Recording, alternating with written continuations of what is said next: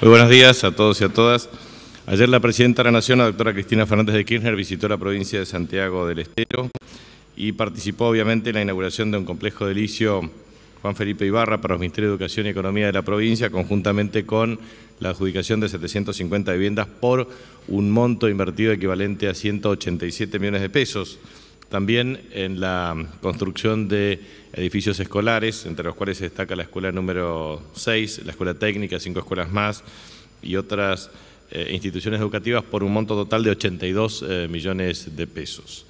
Em, también ayer se registró un indicador importante en el sentido de un aumento del 17,5% de la producción de hierro, eh, provisto este informe por la Cámara de Acero, que mide exactamente la evolución del el nivel de aumento de la producción del 17,5% entre los meses de julio del año 2014 respecto a julio del año 2013.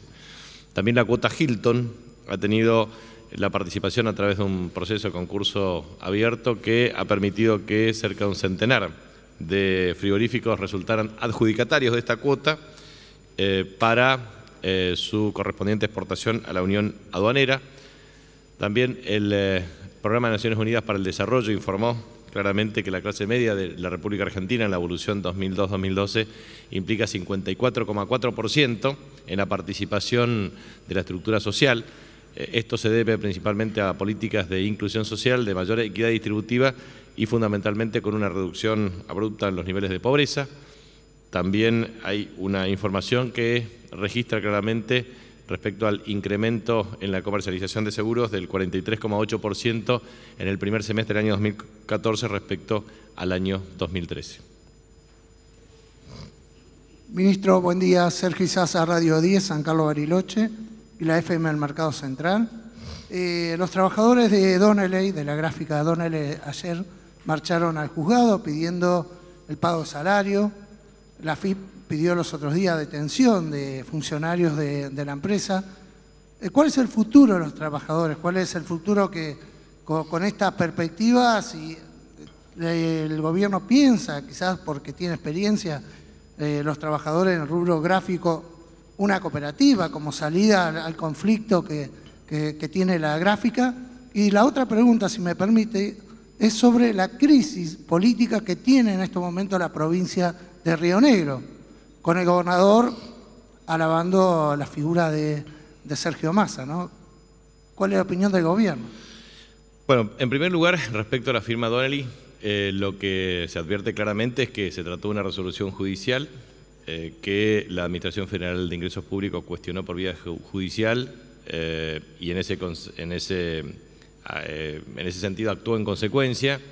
usted sabe que cuando existe una resolución de estas características, se propicia la designación de un juez, el juez, perdón, el, síndico, el síndico tiene que actuar, en consecuencia garantizar eh, primero el pago de salarios correspondientes, la comercialización, la percepción de los ingresos de ventas realizadas, el mantenimiento el sostenimiento de, las infraestructuras de ilicio y del equipamiento y establecer las vías de solución respecto a este tema.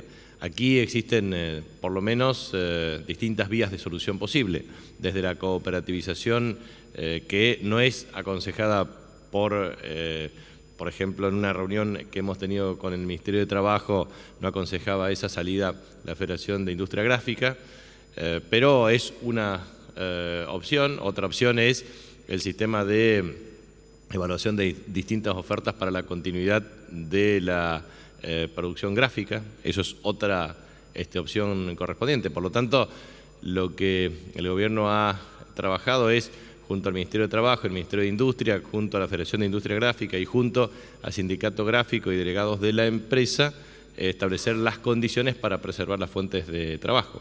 Y en este sentido eh, se reconoce una infraestructura edilicia en óptimas condiciones, también el equipamiento correspondiente y la perspectiva de la suscripción, el mantenimiento de contratos, la suscripción de otros contratos para la producción gráfica que permita la continuidad de la fuente de trabajo. O sea que, en definitiva, creo que existen condiciones para garantizar eh, esa continuidad de la fuente de trabajo y nosotros vamos a hacer un monitoreo que nos permita generar los eh, correspondientes mecanismos para que así sea. Respecto al tema de la situación política de Río Negro, Río Negro tiene una agenda desde el punto de vista político e institucional. Allí nosotros tenemos eh, referentes que ejercen liderazgo político, como el caso del senador Miguel Pichetto, que resultó electo por más del 50% de los votos en las elecciones del 27 de octubre del año 2013 representando a la provincia de Río Negro y es presidente del bloque de senadores del Frente para la Victoria. Eh, por supuesto que existen intendentes, eh, también legisladores provinciales y nacionales que adscriben al Frente para la Victoria. Y allí es necesario observar lo siguiente. Eh, cuando se produjo el deceso lamentable de nuestro querido amigo y compañero Carlos Soria, gobernador de la provincia de Río Negro, eh, lo que ha ocurrido precisamente es que eh, Alberto Boreltinec eh, formaba parte en la fórmula como vicegobernador de la provincia. Entonces se generaron las condiciones y la misma Presidenta de la Nación propició un acuerdo político que garantice específicamente la estabilidad política y la continuidad del gobierno sin recurrir a nuevas elecciones. Y en ese contexto se suscribió un acuerdo político eh, para garantizar el cumplimiento de esos objetivos y metas desde el punto de vista institucional. Y eso es lo que se logró en la provincia de Río Negro. Entiendo que las decisiones personales de los dirigentes obviamente deben estar imbuidos en el respeto y la lealtad a un proyecto político que garantizó su continuidad. Pero en ese sentido, este, cada eh, dirigente político este, decide por sí mismo. Pero lo importante es garantizar la continuidad política institucional. Por eso el día viernes eh, la Constitución eh, de la provincia de Río Negro contempla un sistema de elección para la designación de quien ejerce la vicegobernación. Eh, eso permitió garantizar, primero, de continuidad desde el punto de vista institucional y estabilidad política. Segundo, se votó mayoritariamente en contra de la prórroga del contrato de la firma Petrobras, eh, en virtud de los cuestionamientos que existían desde el punto de vista de su programa de inversión a los efectos de incrementar los volúmenes de producción eh, hidrocarburífera en la provincia de Río Negro. Y en tercer lugar, eh, creo que existe obviamente la perspectiva de primarias abiertas, obligatorias y simultáneas que permita la selección de los candidatos que van a liderar y sobre todo el candidato a gobernador de la provincia de Río Negro para las próximas elecciones del año 2015. Por lo tanto, eh, ha habido una agenda eh, precisamente para garantizar eso, lo mismo que yo he tenido la oportunidad de hablar con los legisladores, algunos, no todos, eh, tanto senadores como diputados de Río Negro, en este caso el senador Pichetto, pero también diputados nacionales, con el objeto de garantizar que efectivamente respaldarán, como siempre, al Frente para la Victoria en el voto dentro de la Cámara de Diputados de la Nación.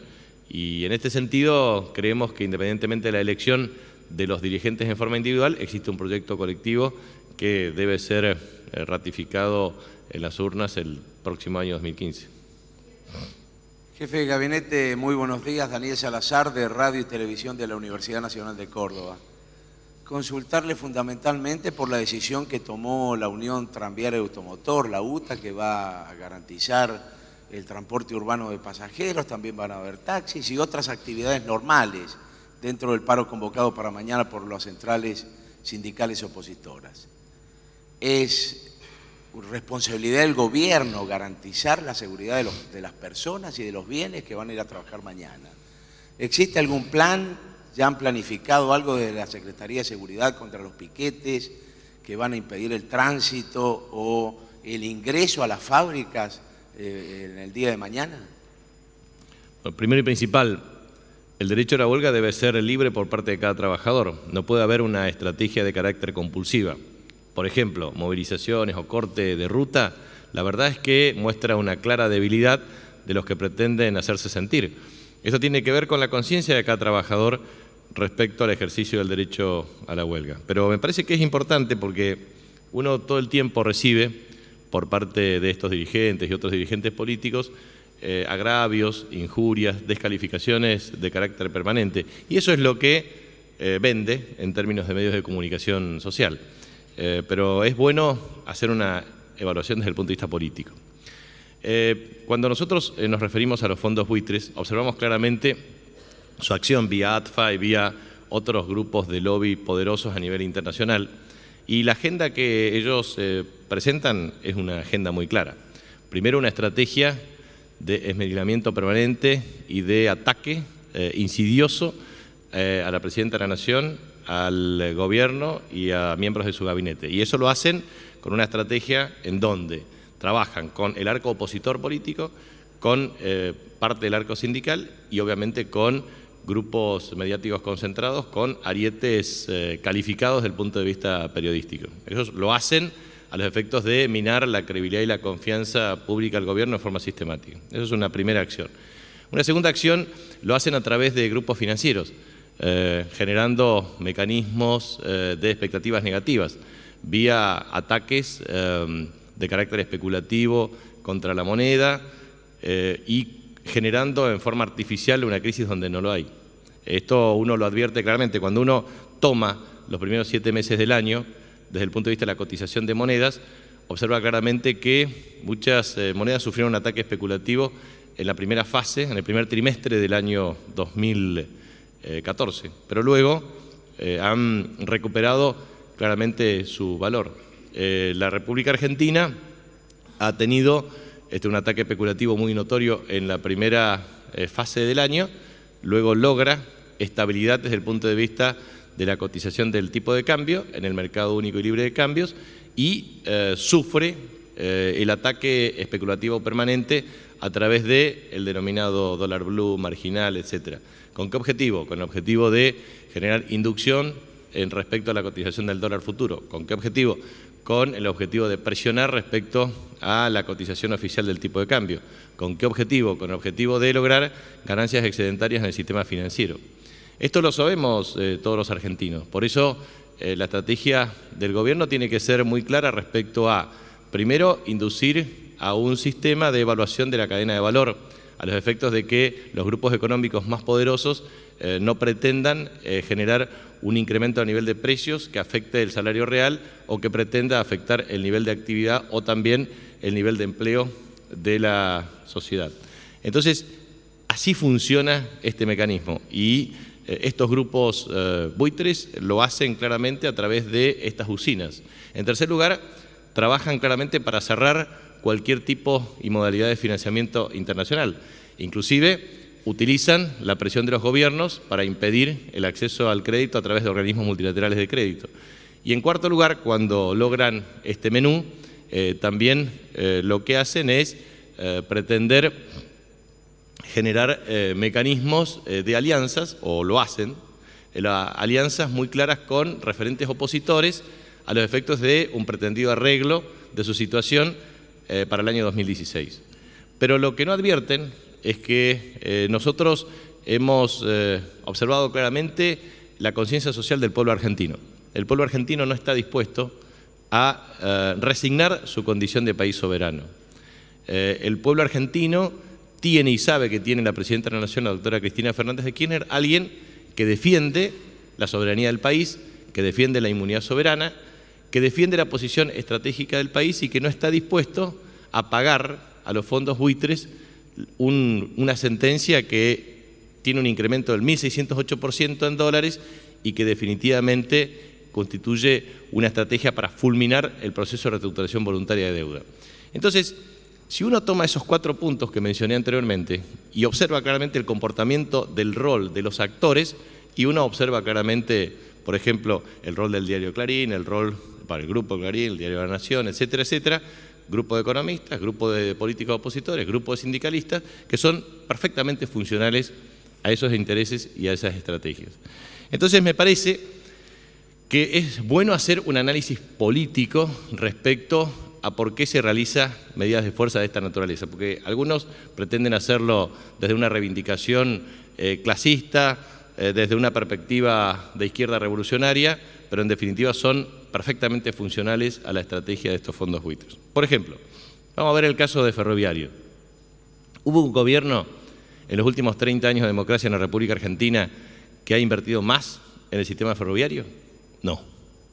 4 mil millones de dólares si tomamos Belgrano Cargas, más la renovación integral de todo el sistema de transporte ferroviario de pasajeros, nuevas unidades, coches, precisamente con el objeto de la capacitación de los trabajadores y salarios que son sustancialmente superiores. Cualquiera de eh, los eh, trabajadores de los sectores que eh, emergen como organizadores del paro son los que más incremento en el número de salarios real han tenido y en muchos casos un incremento sustancial del número de afiliados. Ejemplo, camioneros.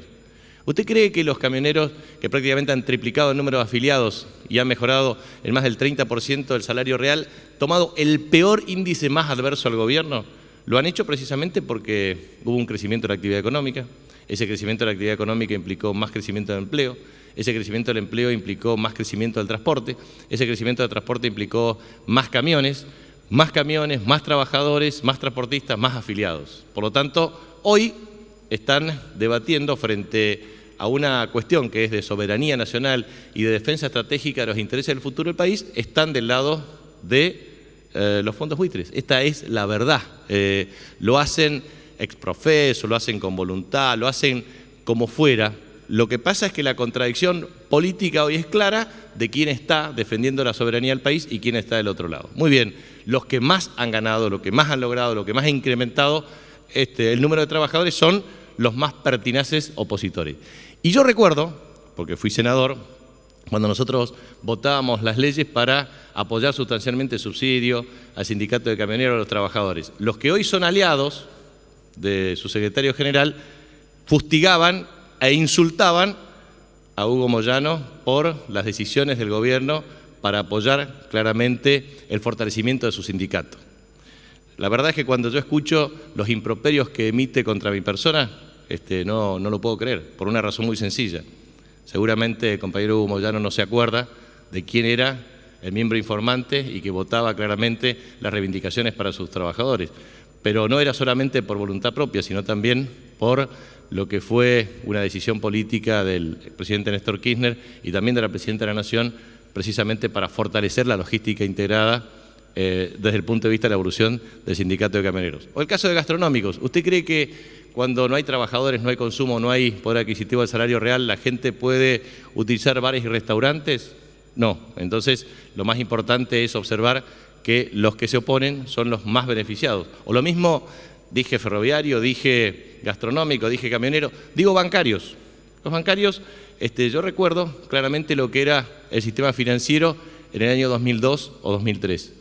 El sistema financiero ha tenido incremento en el número de trabajadores y obviamente afiliados, un mecanismo de salvataje para la obra social de los bancarios, un mecanismo de mejoramiento sustancial del salario. Algunos bancos inclusive financian la cuota parte del impuesto a las ganancias por la cual se quejan. Pero cuando nosotros evaluamos desde el punto de vista del impuesto a las ganancias, decimos que es el 10,4% y forma parte del de, 10,4% eh, de los trabajadores totales, que son casi 10 millones este, en la República Argentina. Entonces, ¿cuál es el concepto que uno observa desde el punto de vista de estos reclamos? Sus prioridades son políticas, forman parte de un eje opositor que lo único que pretenden es introducir un debate artificial en la República Argentina. El mismo debate que muchos medios, cuando la presidenta dice ayer en Santiago del Estero, sería bueno debatir el tema del traslado a la capital, eh, lo ponen con grandes titulares. La, presidenta de la Nación eh, sostuvo que es necesario trasladar la capital a Santiago del Estero. Lo que dijo es, hagamos un debate desde el punto de vista de la organización territorial, como lo han hecho muchos otros países del mundo. Entonces, lo que creo objetivamente es que no hay ninguna duda que este es un paro de naturaleza política, que tiene un objetivo de carácter opositor. Gran parte de estos em, sindicalistas eh, forman parte de alineamientos políticos en el arco opositor. Y me parece bien que lo hagan, pero para eso hay elecciones en el año 2015. Y me parece también que es muy bueno tener respeto por los ciudadanos que quieren trasladarse libremente por las rutas del país. Omití decir el caso de eh, trabajadores de la CTA, eh, que en definitiva existen sindicalistas que son usurpadores de cargos porque no ostentan legítimamente. Y en este contexto, lo que me parece que es bueno decir es que nunca antes hubo un proceso eh, desde el punto de vista institucional que garantice estabilidad en el empleo público como lo ha hecho este gobierno, eh, un sistema de extinción del proceso de precarización laboral y un incremento sustantivo del salario real. Por lo tanto, todos los que hoy reclaman y lo que constituyen la cara visible y lo que generan una política reactiva permanente contra el gobierno, en definitiva fueron los más beneficiados. Entonces, uno dice, ¿es un problema de conciencia social? ¿Es un problema de naturaleza política? ¿O es simplemente una falta de visión respecto a lo que tiene que ser la clase trabajadora en un escenario eh, desde el punto de vista nacional e internacional? Por eso yo creo que es parte de este debate que tiene que tener la sociedad argentina. Y me parece, y lo hago con mucho respeto, digamos, no uso improperios ni calificativos con ningún dirigente, lo hago con mucho respeto. Uno siempre debe soportar agravios y descalificaciones. A mí me gustaría que exista una respuesta de tipo político y me gustaría que aquellos que promueven cortes y rutas, ¿por qué no movilizan políticamente y se manifiestan en términos de protesta social como debería ser en toda democracia? sin interrumpir el tránsito a terceros, sin molestar a los demás y manifestando como lo hacen, porque acá siempre se ha planteado el problema de eh, la visibilidad política, etcétera, etcétera. Acá el 99,9% de los sistemas de medios de comunicación social y periodistas son marcadamente independientes y opositores. Y entonces me parece que es bueno que lo puedan decir, tienen radios, tienen diarios, tienen televisión abierta, de cable, lo pueden decir abiertamente y pueden participar políticamente, inclusive en partidos políticos, frentes o alianzas electorales. Por lo tanto, me parece que la visibilidad de una medida de acción directa lo tienen que hacer también con una movilización de carácter espontáneo y popular, sin propiciar lo que pretenden hacer, porque en definitiva eso no es eh, claramente vinculado a la conciencia social.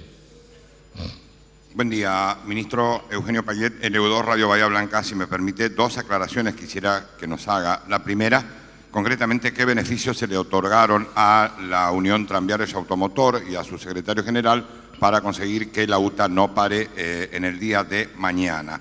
Segunda aclaración, si usted puede explicar qué fue lo que pasó ayer con el tema del fútbol, con esta insólita cuestión de que primero se jugaba, después no se jugaba, que había intervención de funcionarios del gobierno con dirigentes de la AFA, eh, que el presidente River dijo que era eh, escandaloso y que se le adjudicaba eh, a Bianchi con algún funcionario del gobierno haber arreglado esto para sacar ventaja deportiva, que la presidente finalmente dijo que se jugara para relativizar los alcances del paro de Moyano. ¿Puede usted explicar algo de esto, por favor? Todas mentiras. la verdad, primero, yo tengo un respeto muy importante por todos los dirigentes de la Asociación del Fútbol Argentino, por el rol que desempeña Luis Segura, eh, después del deceso de una figura eliminar en el fútbol argentino de 35 años como fue don Julio Humberto Grondón. Entonces, creo que todos los clubes en el ámbito de la Asociación del Fútbol Argentino tienen que coordinar decisiones. El Estado eh, tiene la responsabilidad de la transmisión del fútbol para todos en virtud del contrato asociativo para eh, la utilización de los derechos de transmisión. Eh, por lo tanto, ratifica y debe siempre coordinar los horarios correspondientes para la transmisión y emisión. Y a su vez eh, tiene que respaldar en el ámbito jurisdiccional de la Ciudad Autónoma de Buenos Aires la seguridad para la concurrencia de los espectadores a los respectivos estadios. Existen otras atribuciones que tienen que ver con los gobiernos locales, y o gobiernos provinciales, depende de cómo se juegue el partido, en donde se requiere la autorización correspondiente para eh, que se juegue el partido de fútbol. Aquí eh, lo que el Estado ha garantizado es precisamente todo el apoyo logístico correspondiente para la realización de los partidos. Eh, y también los clubes han organizado adecuadamente los mecanismos de organización, que pueden ser con público o sin público, es una atribución eh, que lo hace cada institución y cada partido, eh, en virtud de las circunstancias del paro anunciado por UTEDIC.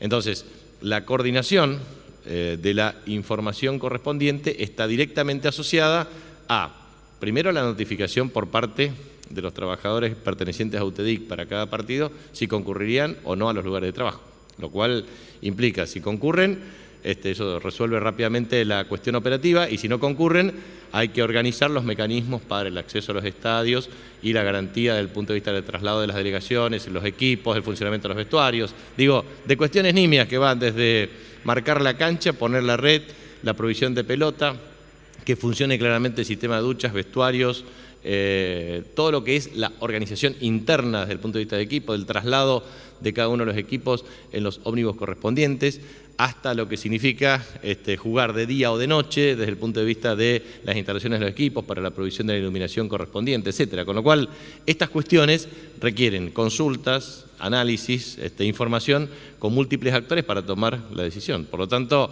la información oficial fue suministrada por la noche por parte de la Asociación del Fútbol Argentino, garantizando la realización de los partidos correspondientes. Atento a que, en definitiva, es el único cambio desde el punto de vista de la mm, realización de los partidos martes, miércoles y jueves, porque, eh, como usted sabe, eh, eso es una fecha que se tuvo que eh, organizar en virtud del calendario por el deceso precisamente y la semana de duelo por el fallecimiento de don Julio Humberto Grondona. porque en general en este campeonato está organizado para jugar solamente los fines de semana, o sea, viernes, sábado, domingo y lunes, digamos. De manera que es una circunstancia de carácter especial con una fecha eh, de paro, con la afectación por parte de uno de los gremios que adhiere eh, para eh, que eso obviamente afecta los niveles de organización de los partidos. Pero esa es una decisión que ya está tomada y nosotros este, obviamente lo que ponemos es siempre a disposición del Estado respecto a la garantía en el ámbito jurisdiccional para que la seguridad esté disponible y la transmisión de los partidos obviamente se pueda realizar con todo el equipo técnico correspondiente. En segundo lugar, eh, la UTA eh, no recibe un subsidio. Eso es otra de las operaciones que hay respecto al tema de la adhesión o no. Resulta ser de que un gremio es bueno para algunos medios de comunicación cuando es opositor al gobierno. Yo recuerdo ¿eh? cómo lo maltrataban a Hugo Moyano cuando eh, ascribía al gobierno, pero le decían barbaridades. Hoy es el mejor exponente del sindicalismo opositor. O sea, los medios cambian desde el punto de vista de la oposición en tanto y en cuanto juegan un rol opositor al gobierno o es oficialista. En segundo lugar, lo que quiero transmitir es que el subsidio al transporte no es ni a la Unión Tranviaria y Automotor eh, ni a las empresas, es a los usuarios. ¿Con qué objetivo? Con el objetivo de que los usuarios paguen una tarifa menor. ¿Con qué objetivo? con el incremento del ingreso disponible. ¿Con qué objetivo? Para mejorar la percepción de su poder adquisitivo. ¿Con qué objetivo? Con el objetivo de que el trabajador se pueda trasladar a sus lugares de trabajo y eventualmente de esparcimiento y que efectivamente no le afecte el bolsillo. Esto se hace desde el punto de vista de una política activa por parte del gobierno. Por lo tanto, no hubo ni acuerdo con la UTA, ni acuerdo con los empresarios, eh, respecto a un subsidio, porque eso es una política de Estado que está en el presupuesto, que se suscribe mediante resolución, que es un mecanismo transparente y que tiene un sistema de control y fiscalización. Por lo tanto, quiero desmentir esas operaciones que vinculan a eh, la decisión de la UTA respecto a un eventual subsidio del gobierno. Y a su vez, yo obviamente respeto la decisión autónoma de UTA, al compañero Roberto Fernández y a toda su comisión directiva, porque a pesar de las presiones han tomado una decisión en el marco de lo que ellos entienden que es una posición autónoma. Ellos no ascriben, eh, aparte de los encuadramientos correspondientes de distintas centrales sindicales, tienen una posición autónoma, participan a través de la Asamblea de Delegados, deciden y en consecuencia toman una posición pública. Por lo tanto, creo que hay que ser extremadamente respetuosos de todos los trabajadores y hay que garantizar que efectivamente los trabajadores puedan trasladarse a todos los lugares de trabajo.